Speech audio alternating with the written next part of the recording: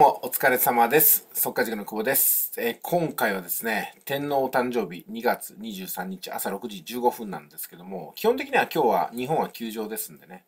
トレードをする必要はないのかなと思います。えーただし相場は動いてますので、特に XM 証券みたいなね、日本じゃない口座、証券口座をお使いの方は今日もトレードできますので、挑戦したい方は挑戦していただければと思います。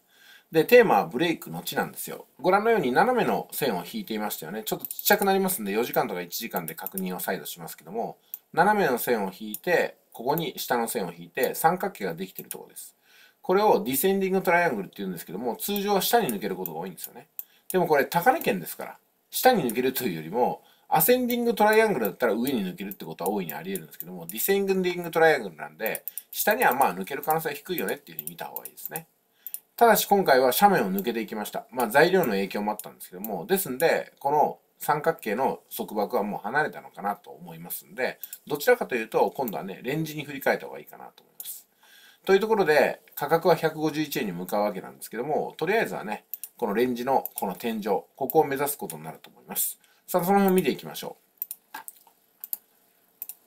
はい、ご覧のように4時間ですと、天井はどこかっていうとね、まずはここ、切り板で考えていくと、ずっと横に伸ばすと、150円の805ですよね。だから、おおむね151円の水準に入ってきてるのかなというところでございます。で、え今、この、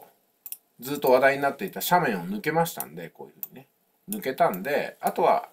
この151円に向かっていくばかりだなっていうふうに捉えることができます。で、昨日はね、こちらの方を第2波を超えるか超えないかってとこだったんですけども、夕方の5時、6時の時点ではね、超えずに、どちらかというと下の方に戻っていってしまったんで、跳ね返されたなっていうふうに判断してロスカットを入れたところです。もちろん残業したりとかね、その後の見通しを立てている方は、そのまま含み損を耐え抜いて、えー利益の方に転換したかもしれませんけども、まあ、やっぱりね、トレードにはどっかで閉店時間っていうのが来ますんでね、えーやっぱり私のトレードっていうのは、その日の18時ぐらいがもうギリギリです。特別に残業するときっていうのもありますけども、まあ、昨日はそれには当たらなかったなってことですよね。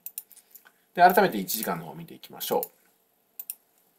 ほな、今日はどうするんやって話ですけども、とりあえずは昨日の